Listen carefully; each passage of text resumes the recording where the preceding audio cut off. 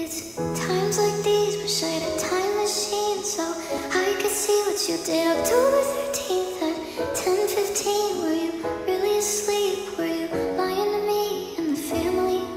There's no us and us when I'm lacking trust. You wanna discuss? Ugh, you disgust me. Don't make me cuss you out. Why'd you let me down? Don't say sorry.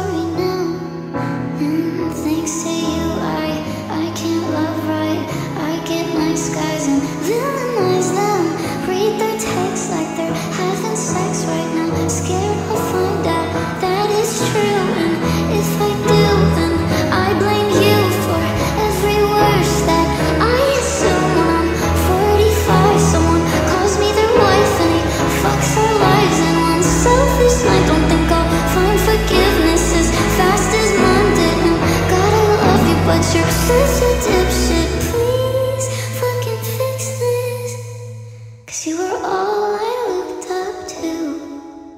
And I can't even look at you.